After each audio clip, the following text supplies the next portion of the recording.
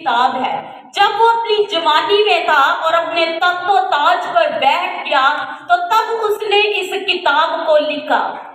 एक दिन जब सुलेमान बादशाह जो है, वो अपने खेतों में जाता है तो उसकी नज़र शलोमियत पर पड़ती है। शलोमियत जो है, ये एक भेड़ बकरियाँ चराने वाली लड़की है, जो कहती है कि मैं सियाह फाम हूँ। मेरा रंग जो है वो सियाह हो चुका हुआ है। मेरे चेहरे के ऊपर वो हुसन नहीं है। मैं तो भेड़ बकरियाँ धूप में जो है वो चराती हूँ और मैं धूप की जली हुई हूँ। वो कहती है कि मैं बहुत मेहनत करने वाली एक लड़की हूँ जो अपनी खूबसूरती के ऊपर ध्यान नहीं देती है। लेकिन सुलेमान बादशाह ने जब उसको पहली नज़र में खेतों के अंदर भेड़ बकरियाँ चराते देखा तो उसको जो है, वो उससे मोहब्बत हुई है। वो उसकी चाहत में जो है, वो गिरफ़्तार हुआ। उसने चाहा कि मैं इसको अपने महल के अंदर लेकर जाऊँ और इसको अपनी मलका बनाऊँ। लेकिन इससे पहले कि उसने ये इरादा किया वो उस गरीब, उस चरवाही के पास जो है, शलोमियत के पास बादशाह बनकर नहीं गया, बल्कि उसने क्या किया? अपना भेष बदला और चरवाहा बनकर उसके ही शोबे के अंदर वैसा ही बनकर दाखिल हो गया। ताकि एक चरवाही अपने चरवाहे को देखे।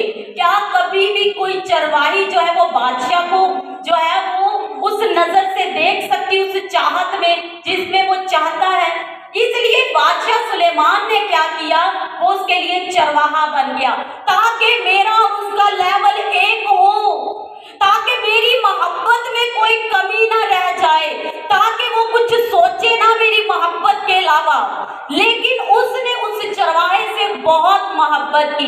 लेकिन एक दिन सुलेमान बादशाह उसको अपने महल में ले गया। उसके लिए उसने पालकी बनाई। पालकी के आगे जो है वो बहुत सारे उसने जो है वो जराफे और बहुत सारे जानवर लगाए ताकि उसका बहुत अच्छे से जो वो इस्तकबाल करके उसको वहाँ पर ले जाए। लेकिन उसको नहीं बताया कि मैं चरवाहा ही बादशाह हूँ। शलोमियत नहीं जानती कि सुलेमान बादशाह मेरा चरवाहा है। वो सुलेमान बादशाह को एक अजनबी आदमी की सूरत में देखती है। वो उसकी मोहब्बत को जो है, वो रिजेक्ट कर देती है। वो कहती है कि मुझे इसकी मोहब्बत नहीं चाहिए है, क्योंकि मैं अपनी मोहब्बत अपने चरवाहे को दे चुकी हुई हूँ। अब सुलेमान बादशाह इस बात को आगे लेके बादशाह बनकर उसके साथ अपनी चाहत का इजहार करूँ, बल्कि वो उसके साथ उस चरवाहे की मोहब्बत से बढ़कर दिखाना चाहता है। लेकिन शलोमियत जो है, वो अपने चरवाहे की मोहब्बत का ही दम भरती है। सुलेमान बादशाह ने उससे कहा, उससे कहने लगा कि देख मेरी शलोमियत ए मेरी सियाफाम ए मेरी जमीला ए मेरी प्यारी तेरे लिए मैंने पालकी बनाई है। तेरे लिए मैंने बहुत सी लोंडियाँ यहाँ पर खड़ी कर दी हैं, जो तेरे लिए हर वक्त तैयारी में रहती हैं। देख, मैंने अपने महल का हर खूबसूरत मकाम तेरे लिए रख दिया है और मैं अपनी मोहब्बत तुझ पर फैलाता हूँ। अपनी मोहब्बत का झंडा तेरे ऊपर जो है, वो फैलाता हूँ। क्या तू मेरी मोहब्बत को कबूल करती है? लेकिन शलोमियत ने क्या कहा? शलोमियत उसको देखती है, सुलेमान को। वो उसकी तमाम तर आसाइश और आरइश को देखती है। सुलेमान बादशाह ने कहा, ग्यारहवीं आयत में हमने पढ़ा है। सुलेमान बादशाह ने कहा कि देख, मैंने तेरे लिए सोने के ताक बना लिए हैं। सोने के ताक का मतलब यानी कि मैंने तेरे लिए हार बना लिया है सोने का। सिर्फ़ रात तेरे लिए सोने के बना लिए हैं। और देख, मैंने उसके अंदर जो है, वो फूल जड़ दिए हैं। जब उसने फूलों की बात को सुना तब वो कहने लगी देखने लगी कि ये जेवरात जो फूलों के साथ जड़े हुए हैं उससे सुलेमान से कहने लगी कि मैं तो इनको कुछ भी नहीं जानती। मेरा महबूब मे, मेरा महबूब जो है वो ऐन जद्दी के अंगूरस्तान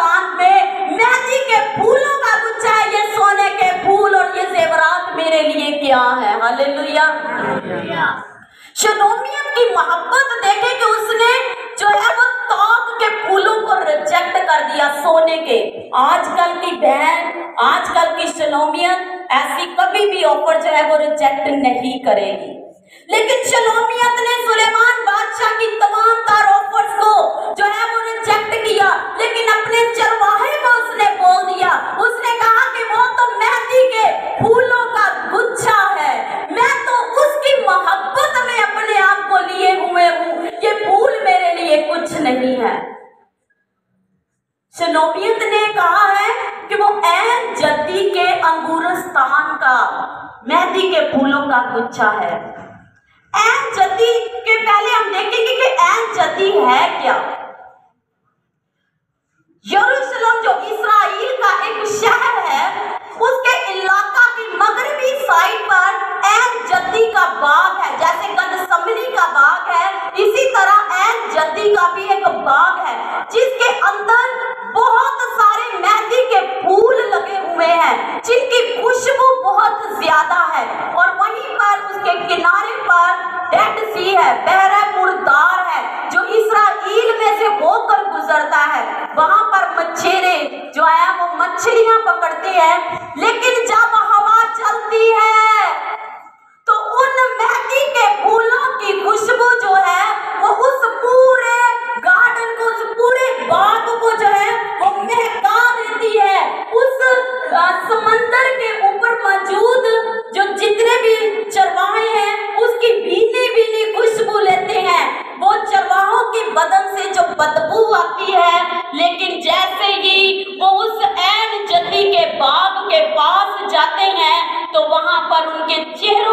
को ऊपर एक मेहंदी के फूलों की खुशबू और उनके बदन से भी खुशबू आना शुरू हो जाती है। अब वहाँ पर आज भी वो ऐन जद्दी का बाग इसराइल के अंदर मौजूद है। लोग वहाँ पर विज़िट करने के लिए जाते हैं। वो एक सैरगाह बन चुकी हुई है।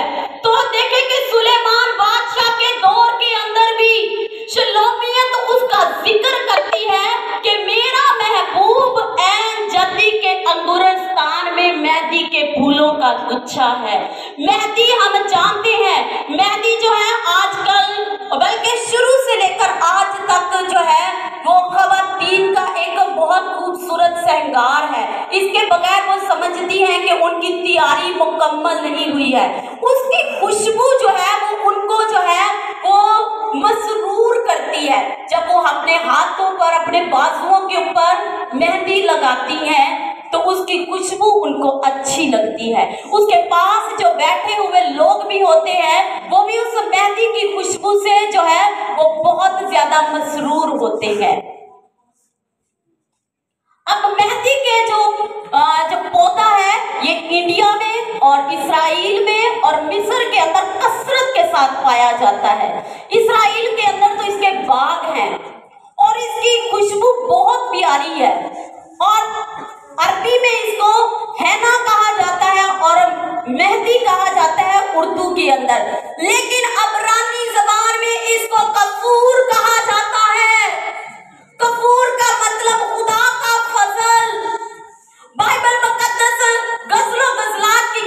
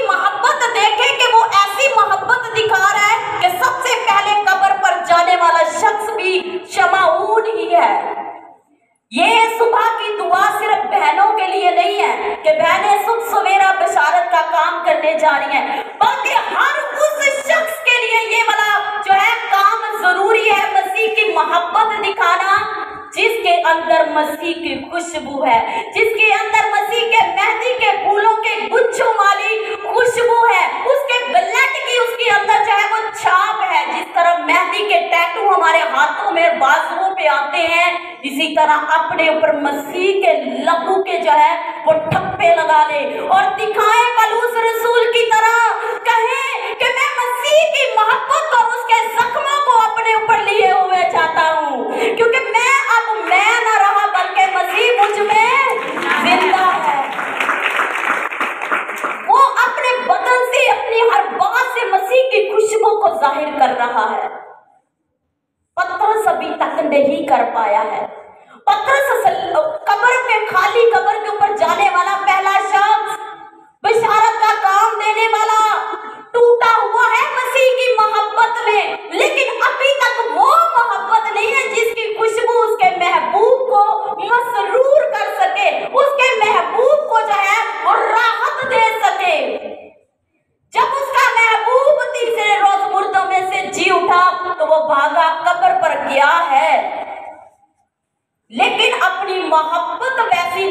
दिखा सका जैसी शलोमियत ने दिखाई है आज अगर हमारी ज़िंदगी के अंदर खुदा का कलाम असर नहीं करता हमारी ज़िंदगी में गवाही नहीं पैदा कर रहा तो समझ ले कि आज भी हम अपने मेहंदी के फूलों के गुच्छों वाला मसीह अपने अंदर नहीं रखते हैं उसकी खुशबू अपने अंदर नहीं रखते हैं क्योंकि हमने उसकी खुशबू नहीं अपने अंदर ली पत्रस की तरह बल्कि उसके साथ साथ चल रहे ज़रूर हैं लेकिन खुदा कहता है वो अपनी कलीसिया से कहता है कि मुझे ऐसी मोहब्बत की ज़रूरत नहीं है मुझे अपनी पहली सी मोहब्बत दिखा वो जो सुलेमान ने अपनी शलोमियत के साथ अपनी पहली सी मोहब्बत दिखाई मुझे वो मोहब्बत दिखा लेकिन हम वो मोहब्बत नहीं दिखा पाते हैं। मेरे यसु नासरी ने हमसे कहा है मुकाशवा में वो हमसे कहता है कि ना तू गर्म है, ना तू ठंडा है, बल्कि नीम गर्म हालत में है। मैं तुझे जल्द अपने मुँह में से निकाल फेंकने वाला हूँ। क्या आप चाहते हैं कि आपका महबूब आपको मुँह से निकाल कर फेंक दे, अपनी हजूरी से बेदखल कर दे? अगर ऐसा नहीं चाहते हैं तो अपने अंदर उसकी खुशबू ले ले। जैसे परफ्यूम की खुशबू हम लेते हैं ना, जब किसी ने बहुत स्ट्रॉन्ग किस्म का परफ्यूम लगाया हो तो पास से गुजरे तो साथ वाले लोग भी जो है ना, उनकी आँखें ऐसे घूम जाती है, सर घूम जाता है। कहते हैं, बहुत खतरनाक खुशबू है।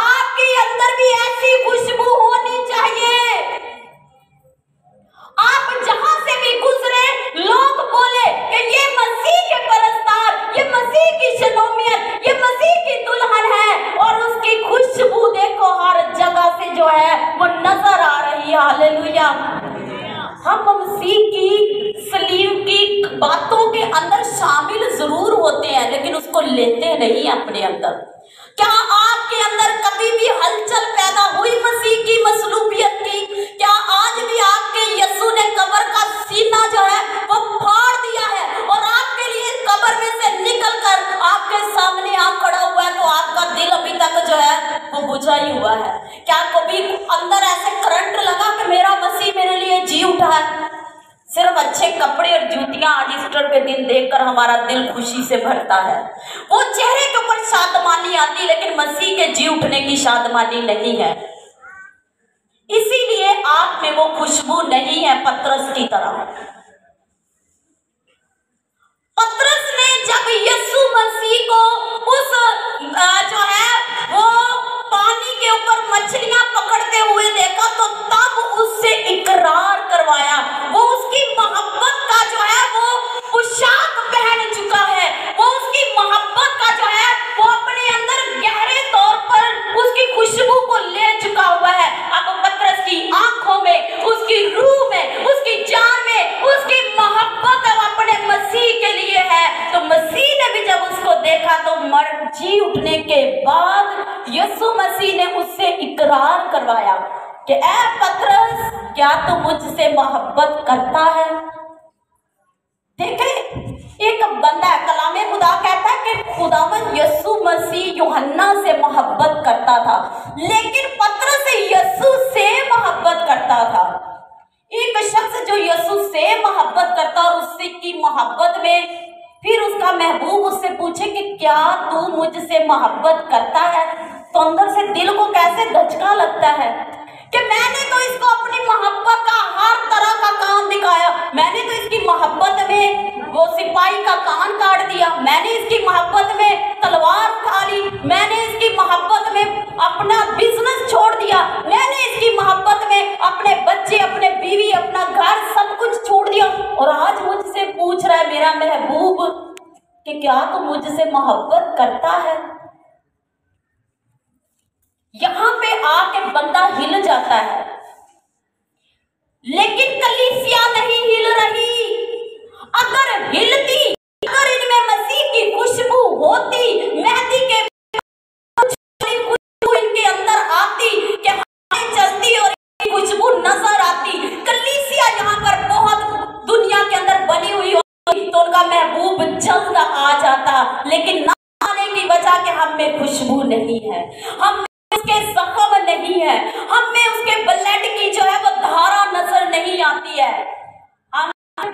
बना रहे हैं उसकी। और अपने ऊपर लेबल लगाए हुए हैं कि हम मसीह हैं और हमारा मसीह जी उठा लेकिन आपकी खुशबू, आपके महबूब को जो है वो मसरूर नहीं कर रही है। वो आपसे खुश नहीं है। खुश करना है तो अपने अंदर उस मोहब्बत को पैदा करो जो शनोमियत ने पैदा की है। उसने अपने चरवाहे के लिए वो मोहब्बत रखी और उसने फूल की बात उसने कहा मेरा महबूब तो के फूलों का गुच्छा अगर सुलेमान ने उसको जिस जिस चीज़ का भी लालच तो उसने उस हर चीज़ के साथ अपने महबूब है, उसके साथ जो है वो शबी में ले लिया। क्या आप हर बात में अपने महबूब को साबित करते हो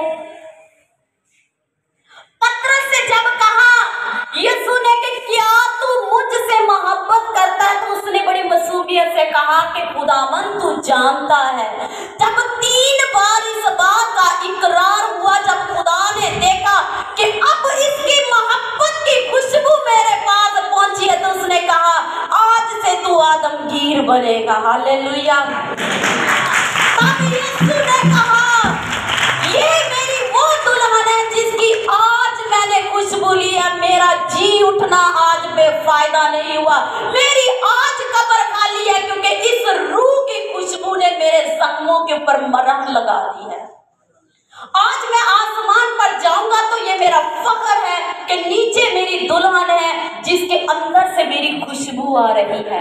जिसके ऊपर मैंने अपने मेहंदी के टैटू अपने ब्लड के लगा दिए हैं। अब ये मेरे नाम से चरलाएगी और बोलेगी, जब यीशु मेरा आसमान पर गया तो पत्रस की मोहब्बत देखे। कि अब उसका पसीना जो है वो जब गिरता है तो लोग उससे शिफा पाते हैं। हालेलुया। ये है मोहब्बत। ये है आपकी खुशबू। आपके पसीने में आपकी मसीह की खुशबू होगी तो बीमारियाँ जाएँगी, तकलीफें जाएँगी और अबलीस भागेगा। तब जब आपके अंदर पत्रस की जैसी खुशबू मसीह के लिए हो जाएगी। ये मोहब्बत जब आपके अंदर आ जाएगी ना तो आप समझ लें कि आप उस आसमानी बादशाही के वारस हो जाएँगे, जो आपका महबूब दिन रात आपके लिए बना रहा है, ताकि आप उसमें आकर उसके साथ आराम करें। मरियम मदकलीनी की मोहब्बत देखे, उसमें सात बदरूहें थी। जब सात बदरूहें निकल गई ना तो वो फिर यस्सु की ऐसी दीवानी हुई कि यस्सु की कब्र को एक पल के लिए भी नहीं छोड़ रही है। यस्सु मसीह के ज़िंदा होने पर वो बागबानों से पूछती है कि क्या तुमने मेरे यस्सु को देखा? उसको जब उसके यस्सु आवाज़ दी ना कि मरियम तो फ़ौरन पहचान गए यार मेरे रबूनी ये मोहब्बत हमारी ज़िंदगी में लश्कर लश्कर में निकल तो हम पलट कर अपनी मोहब्बत वो वाली शो नहीं करते हैं। जो हमारे देखना चाहता है क्यों क्योंकि हमारी मोहब्बत का वो लेवल नहीं है वो मोहब्बत जो सुलेमान ने शनोमियत के लिए की है जो शनोमियत ने अपने चरवाहे के लिए की है जो यसु ने आपके लिए दिखाई है लेकिन अभी तक हम लोगों में कमी है कि हम उस मोहब्बत को नहीं दिखा पा रहे इसलिए हमारा महबूब हमारे पास नहीं आ पा रहा वो कह रहा है कि मैंने कब्र को खाली कर दिया मैंने तेरे लिए सब कुछ सह लिया है मैं तेरे लिए वो पोशाक लेकर खड़ा हूँ मेरी दुल्हन मेरी प्यारी मेरे लिए अपनी खुशबू को ज़ाहिर कर मेरे लिए अपनी मोहब्बत दिखा ताकि मैं ये वाली पोशाक तुझे पहनाऊं और तेरे जितने भी गुनाह हैं वो बर्फ़ की तरह कर कर तुझे अपने उन मकामों में ले जाऊँ जो मैंने तेरे लिए तैयार कर दिए हैं हालेलुया हालेलुया बराए मेहरबानी अपनी उस मोहब्बत को अपने खुदा के सामने ज़ाहिर कर दे। अपने आप को उन दो शख्सों की जगह पर रख कर देखे जिसमें शमाउन फरीसी ने खुदा का खाना किया आपके महबूब का। उसने भी मोहब्बत दिखाई, लेकिन एक औरत आई। उसने ऐसी मोहब्बत अपनी खुदा को दिखाई कि उसने अपने आंसुओं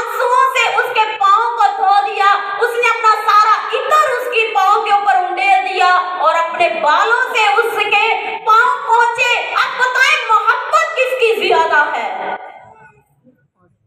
किसकी मोहब्बत को महबूब ने जो है वो बोलने पर मजबूर किया, कुछ दिखाने में मजबूर किया। क्या शमाउन फरीदी मोहब्बत ने? हमारी मोहब्बत शमाउन फरीदी जैसी है, जिसमें हम खाने बड़े अच्छे बनाते हैं अपने खुदावन के लिए। काम बड़े बड़े अच्छे करते हैं अपने खुदावन के। लेकिन अपने अंदर वो खुशबू नहीं रखते। हम कहते नहीं है कि हमारा महबूब मेहंदी के फूलों का गुच्छा है। अगर आप कहेंगे ना कि मेरा महबूब मेहंदी के फूलों का गुच्छा है तो आप सोते हुए भी जैसे हाथों की मेहंदी आपके जो है वो अंदर जाती है उसकी खुशबू। इसी तरह जब आप सोएँगे तो आपके महबूब की खुशबू आप आप चलेंगे तो आपके महबूब की खुशबू आप आप जो है, वो बोलेंगे तो आपके बोलने से भी आपके महबूब की खुशबू नज़र आएगी। लेकिन वो लेवल पाने के लिए आपको अपने महबूब की चाहत का दम भरना होगा। सब काम छोड़ने होंगे। ये बात साबित करनी होगी कि मैं अपने महबूब की उस कुर्बानी के अंदर शामिल हूँ। मैं शमाऊन की तरह हूँ। मैं उस पलूस की तरह हूँ मैं उस औरत की तरह हूँ जिसने अपने खुदा के सामने अपने जो है वो इतर को पटेला मैं उसकी जैसी मोहब्बत दिखाऊँगा ताकि मेरा महबूब जल्द आ जाए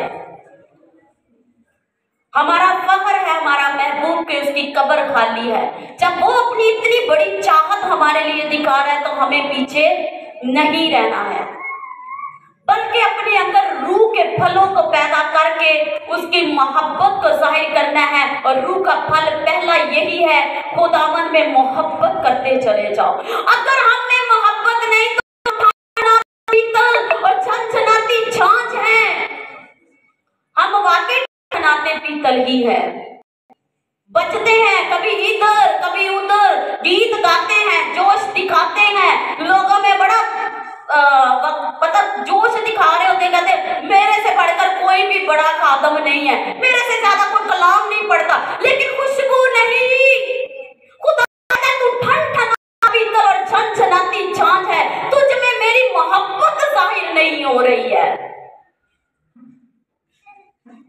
हम क्या कहते हैं पलूस रसूल कहता है कि अगर मैं अपना सब कुछ कुर्बान कर दूँ बहुत सारा काम करूँ खुदा के लिए लेकिन मोहब्बत ना रखूँ तो मुझे क्या हासिल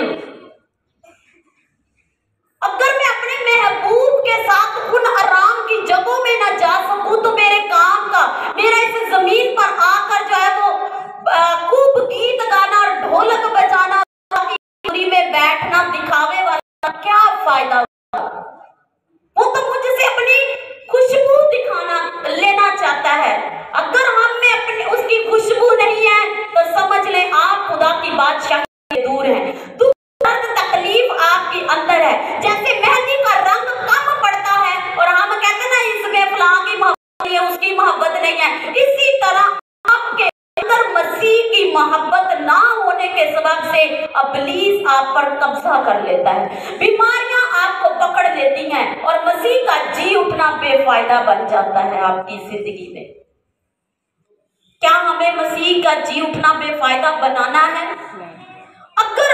आपके दिल में इस बात की चाहत है कि मेरा मसीह मेरे लिए ही जी उठा है। अब मैं उसकी मोहब्बत का दम भरूँगा। मैं उसके लिए जीऊँगा। मैं उसके लिए मरूँगा। मैं उसकी मोहब्बत के दाग अपने बदन पर लिए हुए फिरूँगा।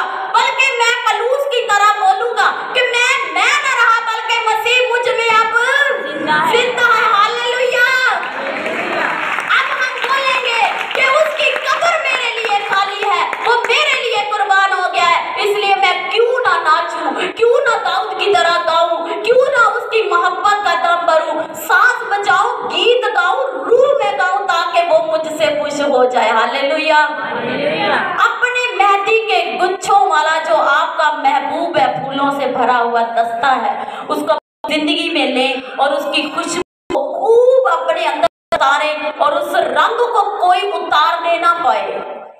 आपकी मेहंदी का रंग कोई उतारने ना पाए जो आपका मसीह यस्सु आपके ऊपर रख कर गया है। और उसकी मेहंदी का रंग उसका ब्लड है। उसको अपने ऊपर ले और अपनी रूहों को बचाए और उसकी बादशाही में दाखिल होकर उसके साथ खूब आसमानी मकामों की सैर करे और उसमें राहत पाए। हालेलुया। आए हम आपकी आँखों को बंद करेंगे और अपने उस खुदावन खुदा की